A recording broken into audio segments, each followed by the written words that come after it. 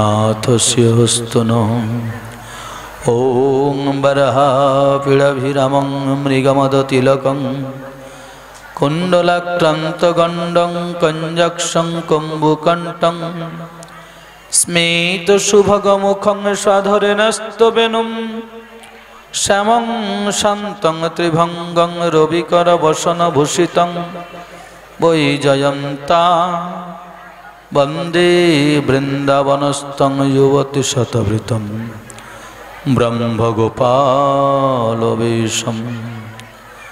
नमो नलिननेत्राय वेणुवाद्यविनोदिने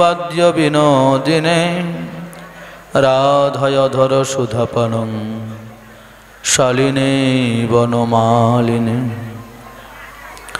हे कृष्णकरुणासिन्धो দীনবন্ধ জগৎপতে গোপেশ গোপিকাকান্ত রাধাকান্ত নমস্তুতে তপ্ত কাঞ্চন গৌরাঙ্গিন রাধে বৃন্দাবনেশ্বরী বৃষভানুসুতাং বন্দে কৃষ্ণকান্তা শিরোমণিম। বলায় বলভদ্রায় রোহিণীনন্দনায় চ, রেবতী প্রাণনাথায়, বলদেবায় নমো নম। নীলাচল নিবাসায়, নিত্যায় পরমাত্মনে, বলভদ্রায় সুভদ্রাভ্যং, জগন্নাথয়তে নমো নমঃ। মুখং করতি বাচালং পঙ্গুং লঙ্ঘয়ত গিরিম ইয়ৎকৃপাতমহং বন্দে পরমানন্দ মাধবম ইয়সং বশিষ্টনপ্তারং শক্তিং পৌত্রকলমসম পরাশরতমজং বন্দে সুকতাতং তপো নিধিম वैशाय विष्णुरूपाय वैशरूपाय विष्णवे নম বৈ ব্রহ্মবিধয়ে বশিষ্ঠায় নমো নম অচতুর্বদন ব্রহ্মা দ্বিবাহুরপর হরি অভালোচন শম্ভুর ভগবান বদরায়ণী তমাদিদেবং করুণনিধানম তমালবরণং সুহৃদবতারং অপার সংসার সমুদ্র সেতুম অজমহে শ্রীমদ্ভাগবত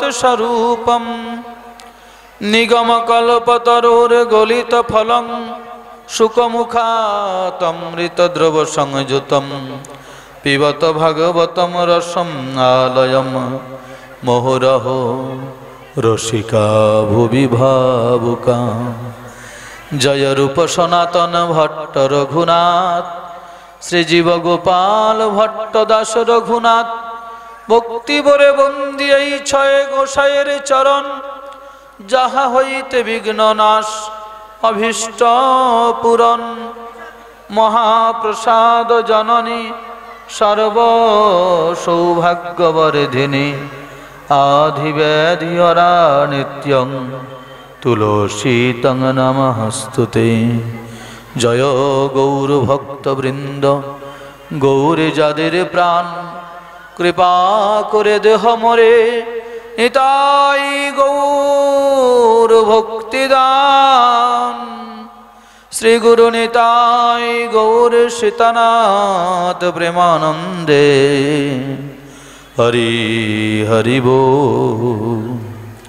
শ্রীরাধয় প্রণয় মহিমা কীদৃশো বানৈবা সাদ্যো যেন অদ্ভুত মধুরিমা কীদৃশ বামদীয় সৌখ্যং চয়স্যামদনুভবত কীদৃশং ব্যতিলোভাত তদ্ভাবয়াঢ্য সমজনী। শচিগর্ভ সিন্ধো হরিন্দু। নিতাই গৌর সীতানাথ প্রেমানন্দে। হরি হরি হরে কৃষ্ণ। জয় নিতাই, জয় গৌর, হরি, জয় রাধা মাধব। সমাগত ভক্তবৃন্দ, ভক্তিমতী মাতৃমণ্ডলী। এই নবকুঞ্জ মেলা মহামিলন উৎসবে অনন্ত শয্যা মঞ্চে প্রবচক শ্রীপাদ তাপস দাস বাবাজি মহোদয়কে আমরা চন্দন এবং পুষ্পমাল্য, প্রসাদী পুষ্পমাল্য দিয়ে বরণ করছি। হরিধ্বনি, উলুধ্বনি দিয়ে সমর্থন করবেন ভক্তমণ্ডলী, ভক্তিমতী মাতৃবৃন্দ।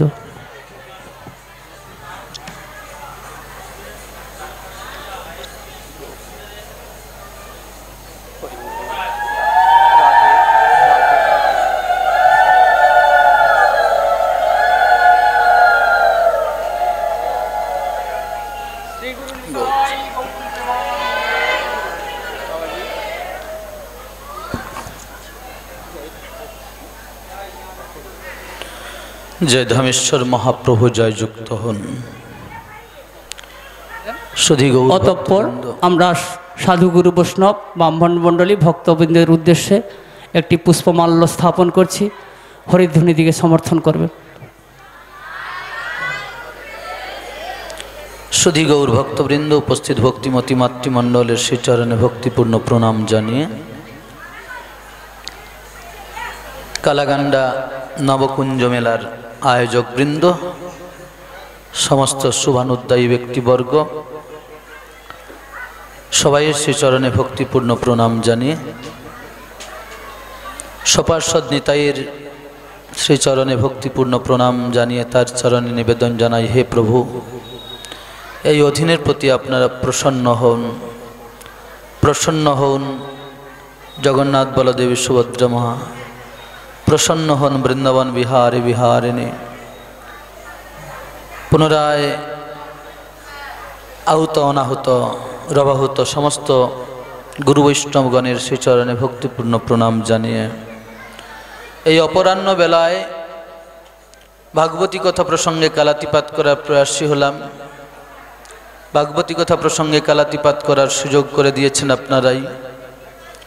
কৃতকৃতার্থ ভাগবতী কথা প্রসঙ্গে কালাতিপাত করার সময় যদিও ছিল সাড়ে তিনটে, সময়টা অতিবাহিত হয়েছে যে কোনো কারণেই হোক চারটে চব্বিশ হয়েছে, প্রায় এক ঘণ্টা অতিবাহিত হয়েছে। আর কতটুকু সময় পাবো আমি জানি না।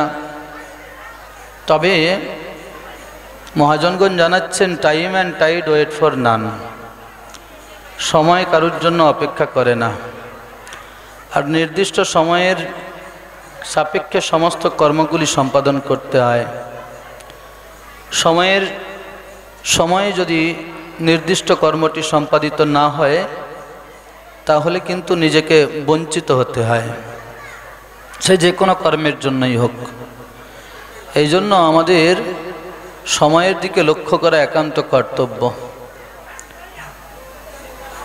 নির্দিষ্ট সময়ের মধ্যে যদি হরিভজন শুরু না হয়, এই দুর্লভ মনুষ্য জন্ম সার্থক হওয়ার জায়গাটা অনেকটা কমে যায়।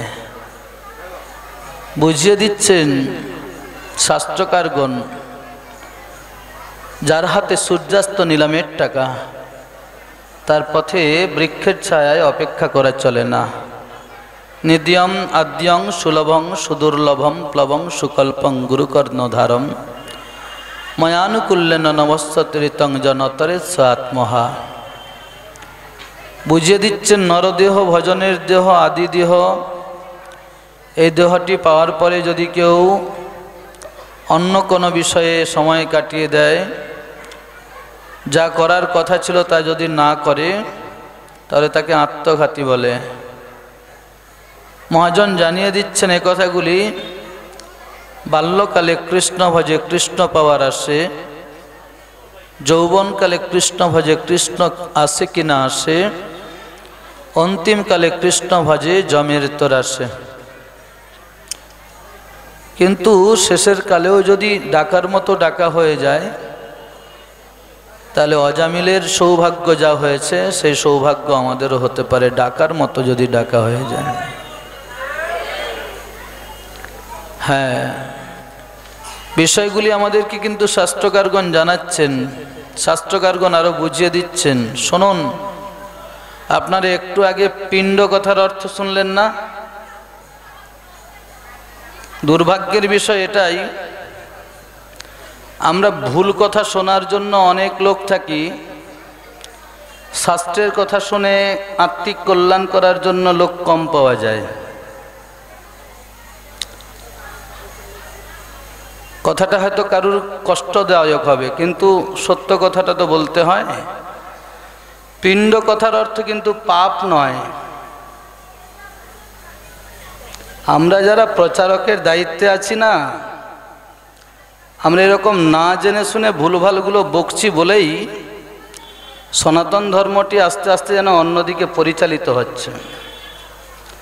আপনি যেটা জানেন না সেটা বলার কোনো প্রয়োজন নেই। আর যদি বলতে হয় বই পড়ুন, তারপরে বলুন। গ্রন্থ পড়ুন, নিজে আগে জানুন, তারপর কাউকে বলার চেষ্টা করুন। আর যদি ভুলভাল বুকে যান, ভুলভাল মেসেজটা সমাজে দিলেন মানে ভুলটার পাতাটাই ভর্তি হচ্ছে, সংশোধনের পাতাটা ধীরে ধীরে অন্যদিকে চলে যাচ্ছে। পিণ্ড কথার অর্থ হলো খাদ্যের গোলাকার ডেলা বিশেষ। অনেক শুভানুদ্দায়ী বের্গী ব্যক্তিবর্গ আছেন, আপনার এই পূর্ব মেদিনীপুর শিক্ষার বিশেষ একটি জায়গা। এখানে অনেক গুণীজন থাকেন। শব্দ অভিধান কোষে লেখা আছে, পিণ্ড কথার অর্থ খাদ্যের গোলাকার ডেলা বিশেষ অভিধান দেখে নেবেন। তবে কি সেটা যদি ভগবত প্রসাদ হয়, সেই ভগবত প্রসাদ যদি মৃত ব্যক্তির আত্মার উদ্দেশ্যে দান হয়, তাহলে সেই মৃত ব্যক্তির আত্মার ঊর্ধ্বগতি হয়। আর যদি ভগবত প্রসাদ ব্যতি রেখে অন্য কিছু পিণ্ড দান হয় সে আত্মার কি হয়, এটা আর বলার অপেক্ষা রাখে না। কারণ এর ব্যাখ্যা কেউ দেয়নি। ব্যাখ্যাটা দিয়েছে মহাপ্রসাদে গোবিন্দে, নাম ব্রহ্মণ বৈষ্ণবে, স্বল্পপূর্ণাঙ্গতাং রাজন বিশ্বাস নৈব জায়তে, শরীর অবিদ্যা জাল জড়েন্দ্রিয় তাহে কালে জীবে ফেলে বিষয় সাগরে, তার মধ্যে জিহতি লোভময় সুদূরমতি তারে তা কঠিন সংসারে কৃষ্ণ বড় দয়াময়, করিবারে জিহা জয়। সে প্রসাদ অমৃত দিল ভাই, সেই মহাপ্রসাদ অমৃত পাও। রাধা কৃষ্ণ গুণ গাও, প্রেমে ডাকো চৈতন্য নিতাই নিতাই গৌর প্রেমানন্দে। মহাপ্রসাদের মাহাত্মে অনেক কিছু বলা আছে, তার মধ্যে কিন্তু এ কথাটা বলা আছে। মহাপ্রসাদ পিণ্ড আকারে গোলাকার ডেলাবিশেষ খাদ্যের গোলাকার ডেলাবিশেষ পিণ্ড, পিতৃ, মাতৃ, মৃত ব্যক্তির আত্মার শান্তি কামনার্থে দান করা একান্ত কর্তব্য। কথা বলা নেই, পিণ্ড ভাসিয়ে দেওয়া হয়। পিণ্ড দান করা হয়। পিণ্ড দান। পিণ্ড মানে খাদ্যের গোলাকার ডেলা বিশেষ পিণ্ড মানে পাপ, এটা কিন্তু নয়, ভুলটা শিখে যাবেন না, ভুল প্রচার করবেন না। আবারও বলি, সঠিক জানতে গেলে পড়াশোনা করতে হয়। এই জন্য বললেন, সাধু মুখে হরি কথা শুনুন। মাতালের মুখে হরি কথা শুনলে হরি কথাটা মানায় না, তার দ্বারা ভক্তির প্রচার হলেও আত্মিক কল্যাণ হতে পারে না। আমি বলছি না, শাস্ত্র তো বলছেন, সাধু মুখে হরি কথা শুনুন। দুঃখের বিষয় এটাই, অনাচারীর কাছ থেকে হরি কথা শোনার জন্য অনেক লোক পাবেন। সাধু মুখে হরি কথা শোনার জন্য লোক পাওয়া যাবে না। সত্যি কথা বললে কলিযুগে মার খাবেন। যত ভেজাল কথা, বারো ভাজা কথা বলবেন, তত আদর পাবেন, তত ভাইরাল হবেন। আপনার আর্থিক দিক থেকে কোনো সমস্যা হবে না। সাধু পাঠ করে নেমে যাবে। যা দক্ষিণা পাবে ভগবত সেবায় লাগাবে, তার জন্য কিন্তু দশ টাকা বেরোবে না।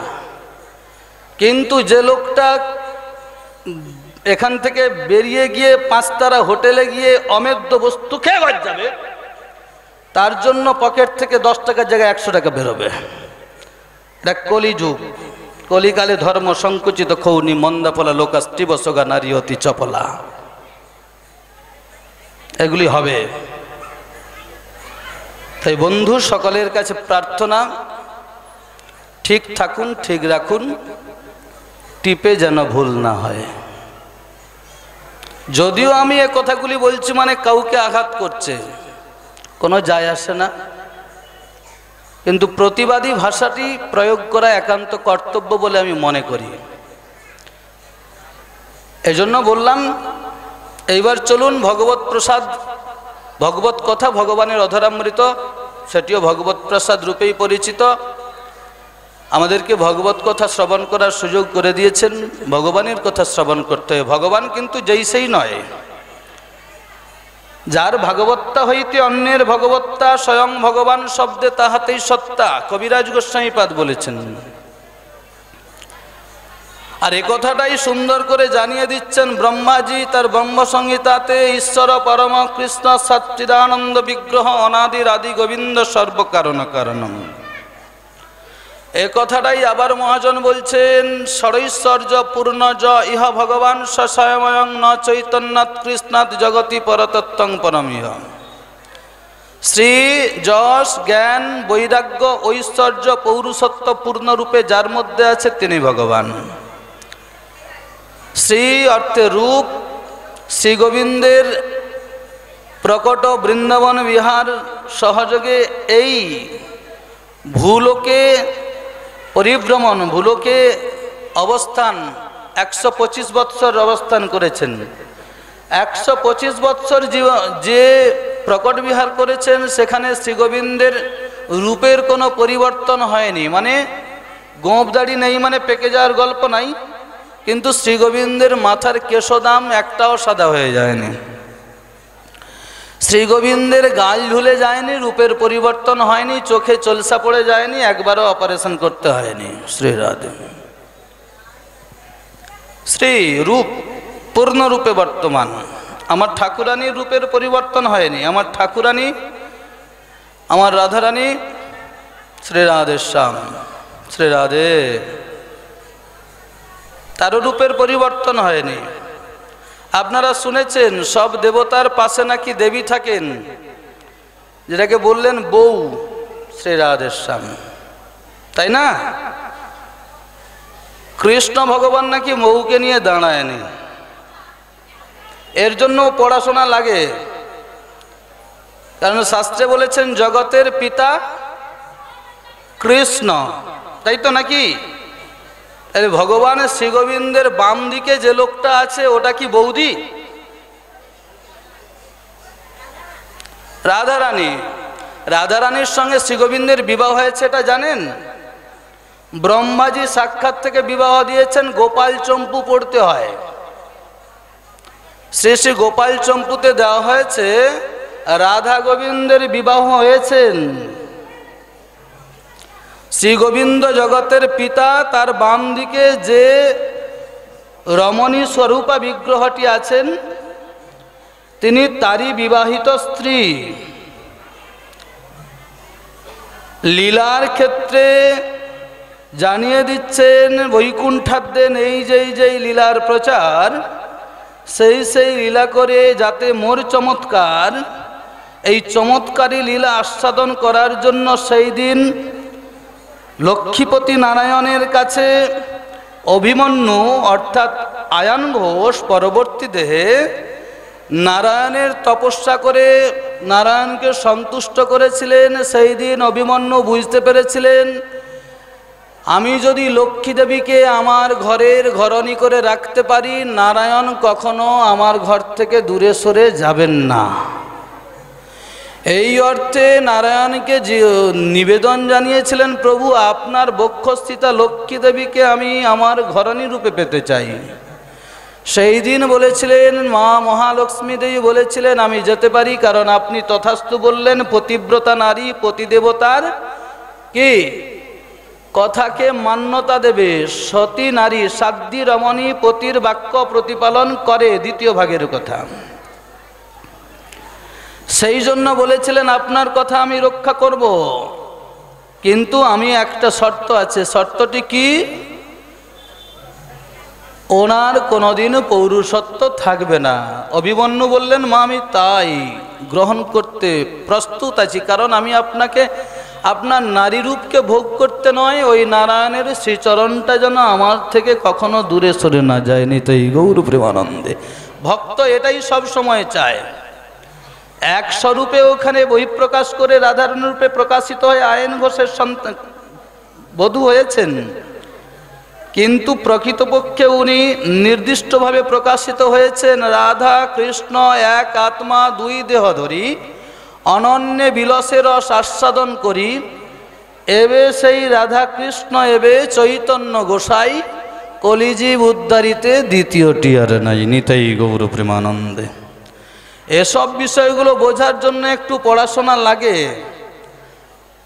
দাঁত বিছানো কথাগুলো আমরা অনেকেই বলে যাই, যে কারণে আমাদের যুবক ভাইয়েরা, অল্প বয়সী ছেলেরা, সনাতন ধর্মের অবলম্বী সন্তানেরা, আমাদের রাধা গোবিন্দের যে মূল তত্ত্ব এটাকে উপলব্ধি না করে ভগবানের ভক্তের বক্তবশ্যতা ভক্ত বাৎসল্যতাকে সামনে রেখে অপভ্রংশ করে চায়ের দোকানে মুদির দোকানে আড্ডার খানায় চা, মাচা গড়াতে এলোমেলো কৃষ্ণের চরিত্রটাকে বই প্রকাশ করেন এরা জানে না এদেরকে জানানোর দায়িত্ব আমরা, আমাদের, যারা আমরা প্রচারের দায়িত্ব পেয়েছি, কিন্তু আমরা যদি ভুলভাল প্রচার করি, তাহলে জগতে আর সনাতন ধর্মের অবক্ষয় হবে নাকি সনাতন ধর্মটা উপরে উঠবে?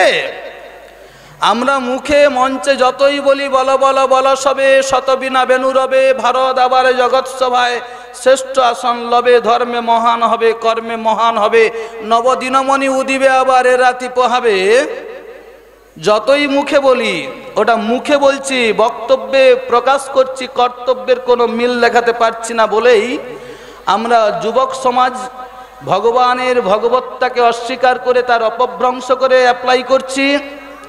বয়স্ক ব্যক্তিবর্গ যা হোক, শেষের দিনে এসে একটু কিছু করছি, বোঝার চেষ্টা করছি না।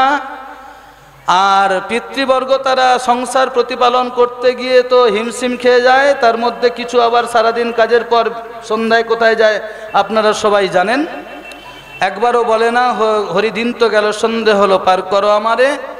আরেকটা সব থেকে বড় রোগ, সেটা হলো আমাদের ঘরে ঘরে এখন মায়েদের সনাতন ধর্ম অবলম্বী মায়েদের গাঁঠে গাঁঠে ব্যথা। এই গাঁঠের ব্যথা, কোমরের ব্যথা সরানোর জন্য ভগবান শ্রীগোবিন্দের নির্ণীত যে ধর্মপথ সেদিকে না গিয়ে এখন কিন্তু পিতা পরমেশ্বরের দিকে ছুটে যাচ্ছেন। হ্যাঁ সব সব কিছু করা যায় আর পরমেশ্বরের ভজন করলে গাঁঠের ব্যথাও সেরে যায়। এর দ্বারা যে ধর্মের অপভ্রংশ হচ্ছে, সনাতন ধর্ম অবলম্বী মানুষ যে ধর্মপথ থেকে বিচ্যুত হয়ে যাচ্ছে, এটা তো জানে না। আর ধর্ম বিরোধী ধর্মচ্যুত ব্যক্তির নরকে বাস, এটা তো আমরা কেউ অনেকেই উপলব্ধি করি না। আজকেও নরকের কথা হয়েছে, কিন্তু নরক আঠাশ প্রকার। সেই আঠাশ প্রকার নরকের যন্ত্রণা কেমন সেটা ভাগবতে ব্যাখ্যা দেওয়া আছে। পঞ্চম স্কন্ধের ছাব্বিশতম অধ্যায়ে দেখে নেবেন। আজকে ও বিষয়ে, আজকে যাচ্ছি না। তবে কি শ্রীমদ্ ভগবত গীতা পড়বেন বন্ধু? সে সনাতন ধর্ম অবলম্বী আমি মায়েদের ক্ষেত্রে বলি, ঠাকুমাদের ক্ষেত্রে বলি, বৌদির ক্ষেত্রে বলি, অথবা পিতৃবর্গ, মাতৃবর্গ, বন্ধুবর্গ, সমস্ত গুরুবর্গের কাছে আমার বিনম্র নিবেদন। আপনারা বাইবেল পড়বেন, পড়ুন, তাতে কোনো দুঃখ নেই, সবার আগে গীতাটা পড়ুন। আপনি যদি আপনার নিজের ধর্মটাকে না জানেন, অপর ধর্মকে বুঝতে পারবেন না। নিজের ধর্মের প্রতি শ্রদ্ধা যদি না রাখেন, অপরের ধর্মের প্রতি শ্রদ্ধা রাখতে পারবেন না। আপনি কোনো স্বার্থকেন্দ্রিক জীবনযাপন করার জন্য ধর্মকে অংশগ্রহণ করেছেন। প্রারব্ধ কর্মফল আপনাকে, আমাকে, আমাদের সবাইকে ভোগ করতে হবে। এ পাপ ছাড়ে না বাপকে। কিন্তু যদি আপনি ধর্ম পথে থাকেন, মৃত্যুর শেষের দিনে আপনি চিতায় যেতে পারবেন। আপনার ছেলেটা আপনার মৃতদেহটাকে নিয়ে বিব্রত হবে না। কিন্তু যদি আপনি নিজের ধর্ম ত্যাগ করে অন্য কোনো ধর্মের দীক্ষা নিয়ে সেখানে ভজন করেন, মৃত্যুর শেষে আপনার ছেলেটা কিন্তু আপনার মৃতদেহটাকে নিয়ে বিব্রত হয়ে পড়বেন। চিতায় তো উঠতে পারবেন না। কবর খোলার জন্য লোক পাবেন না। কি করবেন? আজকেই সেটা ভাবতে হবে। আর শ্রীমদ্ ভগবদ গীতা ইঙ্গিত করলেন, স্বধর্ম নিধনং শ্রেয় পরধর্ম ভয়াবহ। আজকে আপনাকে ফাদার বাদার মাদার, সিস্টার অনেক কিছু সাজিয়ে দেবে। কারণ তাদের ধর্মের একটা বিশেষ প্রতিষ্ঠান, সংস্থা তৈরি হয়নি। যখন সেখানে একটা প্রতিষ্ঠান তৈরি হয়ে যাবে, সবার আগে আপনাকে পেছনে একটা স্ট্যাম্প লাগিয়ে ছেড়ে দেবে। সেদিন বুঝতে পারবেন না কি হবে। তবে কি আমাদের ঠাকুরজি আবারও বলেছেন, অপিচেত সুদূরাচার যো মজতে মাম অনন্য ভাগ সাধুরেব সমন্তব্য সম্যক ব্যবসিত হিসব অতিরিক্ত দুরাচারী ব্যক্তি হয়েও যদি কেউ অনন্য চিন্তায় আমার চরণ শরণ গ্রহণ করে তাহলে তাকে সাধুরূপেই বিবেচনা করবে নিতই গৌর প্রেমানন্দে। এইরকম ভক্তবাৎসল্যতা শ্রী গোবিন্দের আছে। তাই শেষের দিনে যখন ডাকতে যাবেন, তখন তো কপ, পিত্ত, বায়ু আপনাকে বিতাড়িত করবে। তখন আপনি নিজেকে নিয়েই ব্যস্ত থাকবেন আর হরির চরণ শরণ গ্রহণ করতে পারবেন না। তাই সময় থাকতে থাকতে হরির সাধন শুরু করে দেন। যদি ধার করে খেতেই হয় তাহলে বেলাটা করবেন কেন? তবে কি জানেন? ধার যদি করতে হয় পাড়াঘর ধরে যাওয়ার আগে ভাগারির কাছে গিয়ে একটু দেখুন না শ্রীরাধে ভাগারির গাছ বাড়িতে গিয়ে যদি একটু ধার চান না, তিনি দেবেন বাড়ি বাইরে কাউকে বলবে না। আর যদি ভাগারির সঙ্গে গণ্ডগোল করে অন্য কোথাও যান, সেটা ডিসকাস হয়ে গেলে আপনার বংশের অবমর্যাদা হবে। নিতই গৌর প্রেমানন্দে। আবার ভাগারির কাছে ধার করতে গিয়ে একটু আপনার ভাড়ারটা খুলে দেখুন না। আপনার দাদু, আপনার ঠাকুমা, আপনার চোদ্দ পুরুষ যে ওই লাল কাপড়ে সুন্দর করে বেঁধে রেখেছেন যেগুলো, সেগুলো একটু খুলুন না, তাতে সাপ আছে না, নেউল আছে না, কি আছে, না পোকামাকড় আছে, একটু দেখুন না খুঁজে। ওইগুলো একটু খুলে দেখুন, আর সে পাতাগুলোতে যা লেখা আছে ওগুলো পড়ুন। পড়তে পড়তে আর আপনার গ্রন্থি উন্মোচিত হবে। গ্রন্থি উন্মোচন করে যা দ্বারা তাই হলো গ্রন্থ। গ্রন্থি উন্মোচন করেন নিগম কল্প তরোর গলিত ফলম। নিগম শাস্ত্র বেদরূপ কল্প বৃক্ষের গলিত পাকা ফল, নিগম কল্প তরুর গলিত ফলম। সুখমুখাত সুখ পাখিতা আস্বাদন করেছেন। অমৃত দ্রব অমৃত দ্রব সংযুতম। পিবত পান করুন, আলয়ম। মানে আমৃত্য পান করুন। লয় প্রাপ্ত হওয়ার পূর্ব পর্যন্ত পান করুন। এটা তো অমৃতের আলয়, অমৃতের খনি শ্রীমদ ভাগবত শাস্ত্র। যে বা কিছু জানে কেহ শুনিতে শুনিতে সেহ কি অদ্ভুত শ্রীকৃষ্ণের চরিত। কৃষ্ণে উপজীবে প্রীতি, বুঝিবে রসের রীতি, শুনেলেই হয় বড় হিত, নিতাই গৌর প্রেমানন্দে। আপনি জানতে হোক, অজান্তে হোক, আগুনে হাত দিলে যেমন হাত পুড়ে, শ্রদ্ধাতে, অবহেলাতে, যেন তেন প্রকারে হরি কথা শ্রবণ করুন। আজ নয়, আজের বার হলেও সাধুগুরু বৈষ্ণবের কৃপারূপ বাতাস যখন দেবে না, আপনারও ভক্তিরূপ আগুনটা দাউ দাউ করে জ্বলে উঠবে, সেদিন আপনার জীবন সার্থক হয়ে যাবে। ভাগবতে শ্রী গোবিন্দের কথাটি সুন্দর করে লেখা আছে, গোবিন্দের কর্ম, গোবিন্দের কর্মটি লীলা, গোবিন্দের খেলাটি লীলা। উনি নিজে বলেছেন জন্ম কর্ম চমে দিব্যম যো ব্যক্তি তত্ত্বত তক্তা দেহং পুনর্জন্ম নৈতি মামে মামেতি সর্জুন এই গ্যারান্টেড স্পিচটা একমাত্র শ্রী গোবিন্দ ছাড়া আর কোনো লাট সাহেব দেয়নি। আমি একটু এরকম কথা বলি বাবা, ক্ষমা করুন আমাকে। আমি অভদ্র ছেলে, আমি ভদ্রতার কথা বলতে পারি না। কিন্তু আমি কট্টরপন্থী, বৈষ্ণব তো বৈষ্ণবীয় কথাই বলব। ও চাটনি দেওয়া কথা বলার সময় আমার নেই, আর এলোমেলো কথা বলারও সময় নেই। তবে যে কথাটা হবে, সেটা শাস্ত্রের কথা হবে, ভাগবতের কথা হবে, মহাজনের কথা হবে মহাজনী পদ হবে। দেখিয়ে দিচ্ছেন, বুঝিয়ে দিচ্ছেন, আমার জন্মের কথা, আমার কর্মের কথা যদি কেউ তত্ত্বগতভাবে শোনে। মানে সিঙ্গাপুরি কলা কেন খেতে নেই? মায়েরা কেন সিঁদুর পরবে? কোথায় পরবে? বাঁ দিকে না ডান দিকে না সোজা দিকে? তুলসীর মঞ্চ বাঁ দিকে রাখবেন কি ডান দিকে রাখবেন? এগুলো তথ্য তত্ত্ব নয়। তত্ত্ব মানে ভগবান যা কর্ম করেছেন, বাইরের অংশটা লীলা, আর তার নেপথ্যে যেটা আছে সেটা তত্ত্ব। ভগবান শ্রীগোবিন্দ জন্মলীলা গ্রহণ করেছেন।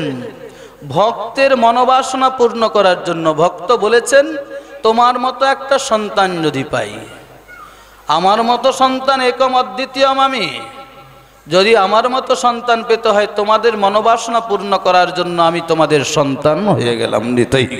গৌরী প্রেমানন্দে হরি হরি বল। বলে রেখেছেন উনি, এই যথামাং প্রবদ্ধন্তে তাং ততই বাবা জামি অহমবর্তানুবর্তান্তে মনুষ্য পার্থ সর্বস্ব।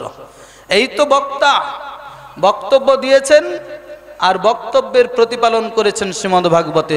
ওই তো সেই দিন বসুদেব দেবকী মাতাকে পিতামাতা রূপে গ্রহণ করেছেন। শুধু তাই নয় গোলক অধিপতি শ্রী গোবিন্দ আদি নারায়ণ তিনি সেই দিন ধরা এবং দ্রোণকে পরীক্ষা করতে গিয়েছিলেন। শোনো, সময়ের সাপেক্ষে আজকে যে আমির, কালকে সে ফকির।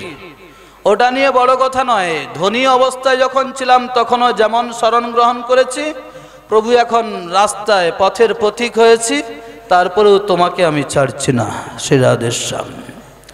কারণ ভগবানের প্রিয়তম ভক্তবৃন্দ জানেন, ন ধনং, ন জনং, ন সুন্দরী কবিতাং বা জগদীশ কাময়ে, মম জন্মনি জন্মনিশ্বরে ভবতাৎ ভক্তি অহিত কীর্তয়ী দেখবেন যার যত বেশি টাকা, সে বেশি তত চঞ্চল, আর যে যত বেশি চঞ্চল, সে তত বেশি ভগবানের কাছ থেকে দূরে থাকে। শ্রী রাধেশ্যাম। যার যত বেশি জনসংযোগ, সে জানে জাগতিক জনসংযোগ আছে, এই বললে আড়াইশো জন লোক আছে, সে হঠাৎ করে ভগবানের ভগবত্তাকে মানে না। কিন্তু যার পাশে কেউ নেই, ভগবান বলে আমি তো তার আছি। সুদমা বিপ্র, তোমার প্রয়োজন আমি দেবো। দ্রৌপদী, তুমি যতক্ষণ ভেবেছিলে এরা আমাকে রক্ষা করবে, ততক্ষণ আমি নাই।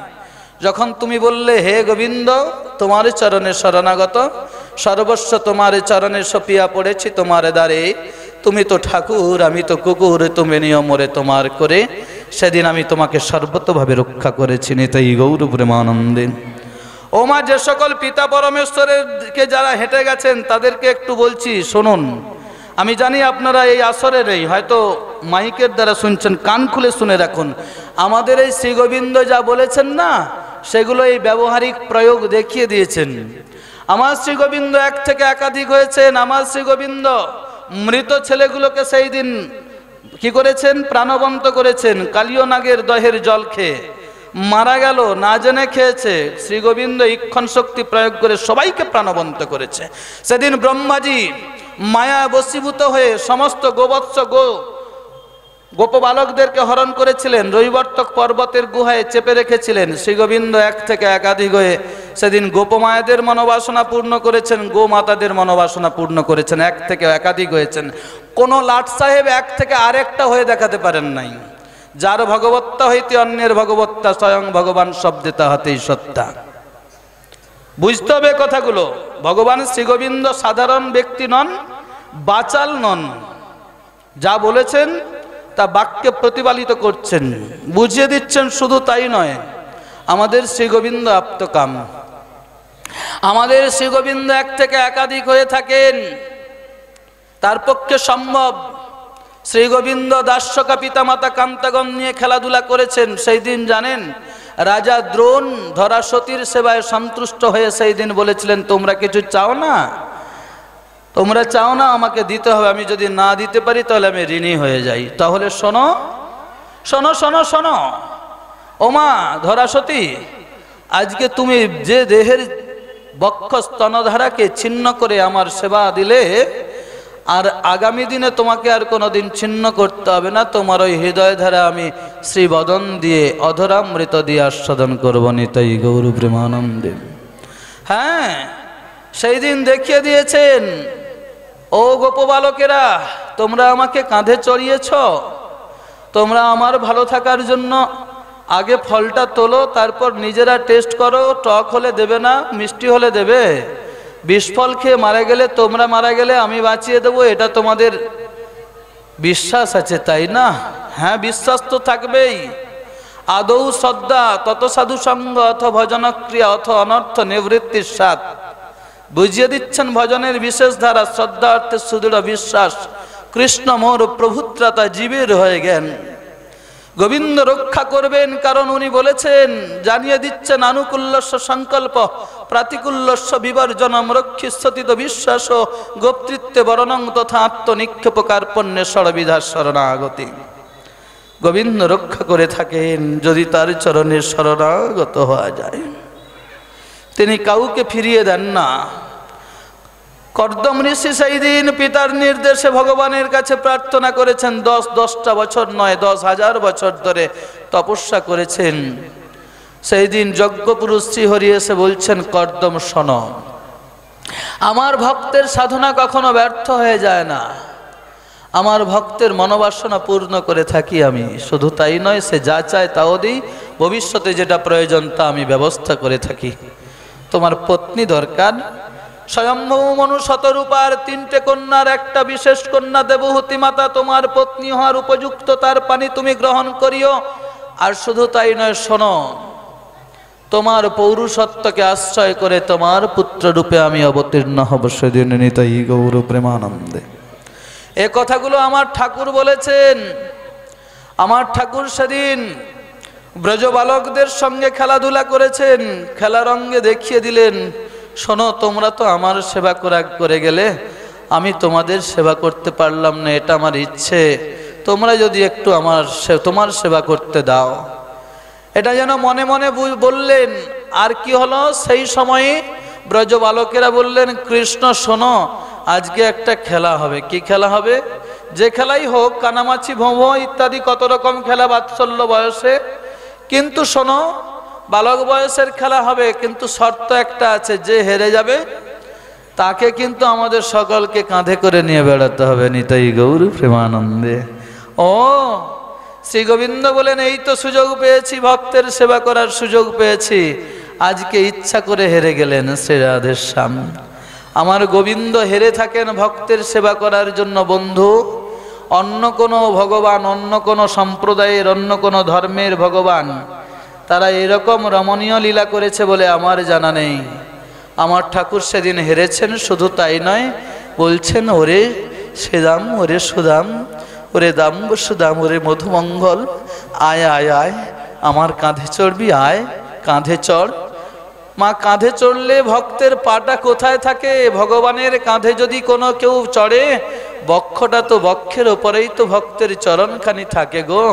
সেই দিন কাঁধের নিয়ে ভক্তকে সেই চরণ দুটোকে জড়িয়ে ধরে কাঁদছেন আর বলছেন, আমি আজ সুযোগ পেয়েছি আমার ভক্তের চরণ সেবা করার নিতাই গৌর প্রেমানন্দে। এটা তো হেরে গিয়ে চরণ সেবা করছেন। আর সেই দিন জানেন সুদামা বিপ্র যেদিন গেছেন, সেই দিন শ্রী গোবিন্দ আমার ভক্তের চরণকে ধৌত করে দিয়েছেন। উত্তম চালের অন্ন সেবা করে উত্তম শয্যায় শয়ন করিয়ে দিয়ে তার অঙ্গ সম্মার্জন করছেন, গাত্র মর্দন করছেন। কেমন ভাবে বলে যেন মা যেমন তার সন্তানকে ঘুম পাড়িয়ে দেন শ্রী ভগবান সেই দিন ভক্তের অঙ্গ সম্মার্জন করে অঙ্গ সেবা করে মায়ের মতো করে ঘুম পাড়িয়ে দিয়েছেন। সুদামা বিপ্র বলে, আমি তো আজকে বৈকুণ্ঠে বিশ্রাম করছি তাই গৌর প্রেমানন্দে। এমন ভগবান পাবেন না। কিন্তু জানেন, সেই দিন বৃন্দাবনে, চুরাশি ক্রোশ বৃন্দাবনে আরেক ধরনের ভক্ত হাহাকার করছেন, কাঁদছেন। সুকুমারী নন্দ ব্রজ কুমারিকা কাঁদছেন হাহাকার করছেন পূর্ব পূর্ব রসের গুণ পরে পরে ভূতে। তারাই এরা এরাই তারা, নিত্য বৃন্দাবন, নিত্য গোলক। সেই গোলকের যারা অধিবাসী শ্রী ভগবানের পার্শ্বদ বৃন্দ তারাই এসেছেন এই ভূবৃন্দাবনে। কিন্তু সেবা, কান্তা প্রেমের শিরোমণি ললিতা, বিশাখা, ইন্দুরেখা, চম্পকলতা, রঙ্গদেবী, সুদেবী তুঙ্গবিদ্যা আদি অষ্টমহাসখী বৃন্দ, সঙ্গে অন্যান্য পরিকর বৃন্দ তারা হাহাকার করছেন। আমাদের জীবনটা মনে হয় বৃথা হলো। কিসের জন্য? আমাদের শ্রীগোবিন্দের সেবা হলো না। যে অঙ্গ নিয়ে ভগবানের সেবা হলো না, সে অঙ্গ তো শুধু শুধু পেলাম। মনে হয় বৃথা বৃথায় জন্মটা চলে গেল।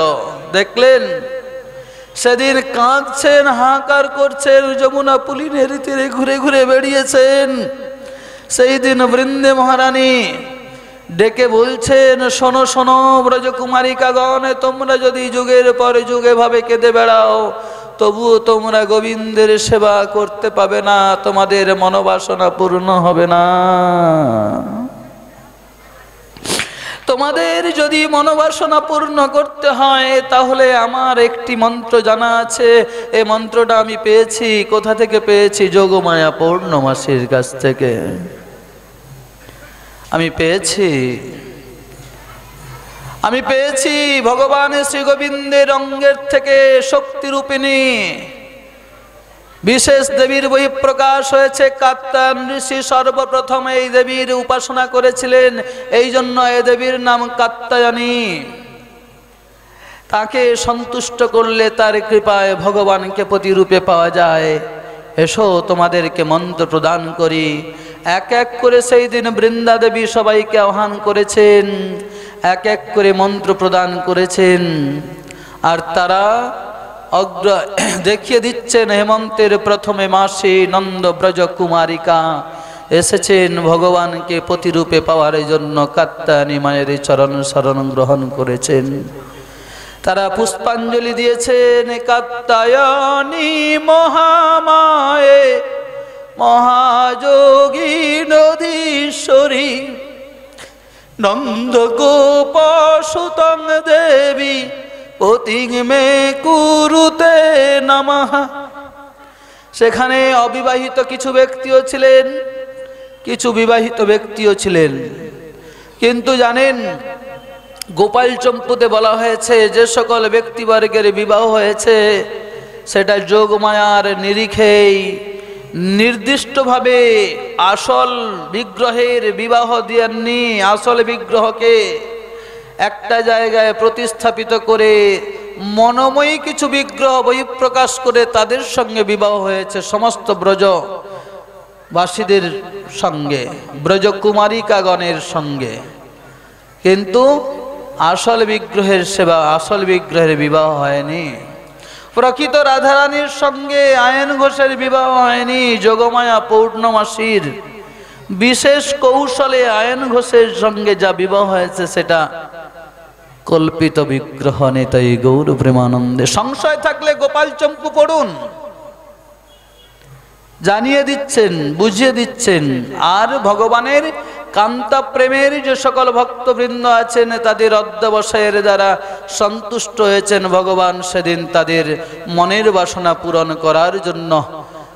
আয়োজন করেছেন উৎসবের নির্দিষ্ট সময়ে। দাস্যকা পিতামাতা কান্তগণ নিয়ে আস্বাদন করেছেন শ্রী গোবিন্দ কেন করবেন না? তিনি যে আপ্তকাম। শাস্ত্রে বলেছেন শ্রী গোবিন্দ আপ্তকাম। শ্রী গোবিন্দ মুনিগণের ধেয় শ্রী গোবিন্দ গোপীগণের পরম পুরুষ। কিন্তু ভক্তের কাছে তিনি আরাধ্য। তিনি বিশ্বের পরমাশ্রয়। তিনি বৃন্দাবন বনচারী। তিনি অখিল রসামৃত সিন্ধু। সেই অখিল ঋষা রসামৃত সিন্ধু শ্রী গোবিন্দের প্রেমরস আস্বাদনের লোভ জেগেছে।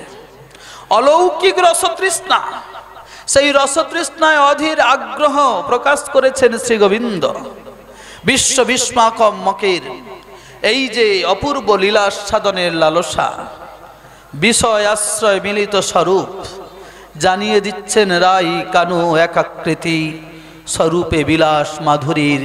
অমৃত লীলাবরী সন্নিতই গৌর প্রেমানন্দে। সেই শ্রী রাধা প্রেমার রহস্য আস্বাদনের আকাঙ্ক্ষা ইপ্সিত লীলা লালসায়। শ্রী গোবিন্দ আজ গৌর হয়েছেন, হে কলির জীব।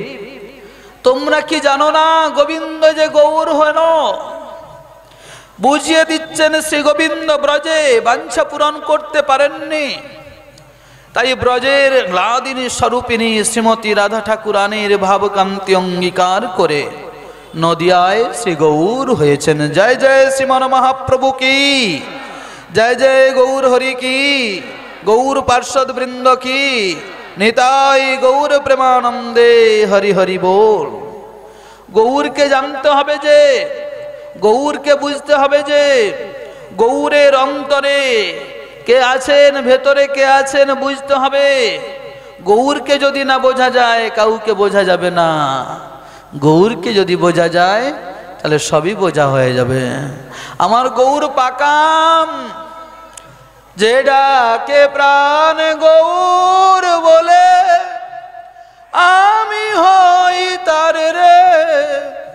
ভজ গৌরাঙ্গ, কহ গৌরাঙ্গ লহ গৌরাঙ্গের নাম রে। নিতাই চা দাহন করে গেলেন। সেই গৌরকে জানতে হবে অন্তরে শ্রীকৃষ্ণ শ্রী রাধা ভাব বাইরে কান্তিতে আবৃত হয়ে তিনি ব্রজভাবের প্রেমের প্রসরা সাজে স্বভাবে কাঙাল হয়ে জীবের দ্বারে দ্বারে নাম প্রেম বিতরণ করলেন। শুধু তাই নয় আপন দিব্য রসাস্বাদনের আধারে সম্ভোগ মূর্তিতে বিরহের চরম প্রকাশ, সেই প্রকাশের লীলা আস্বাদন করছেন। শ্রী রাধা প্রেমের যে তরঙ্গ লীলার বৈদগ্ধ লাবণ্য রাশি, ওই তো শ্রীমন মহাপ্রভুর গম্ভীরা লীলাতে সুন্দর করে প্রকটিত হয়েছে। মহাজন যেন তাই বলছেন, মদের সোনার গৌর এসেছে গো সোনার নদিয়ায়। তোরা দেখবি যদি, আয় নাগরী, দেখবি যদি আয়। মোদের সোনার গৌর গো সোনার নদিয়ায়।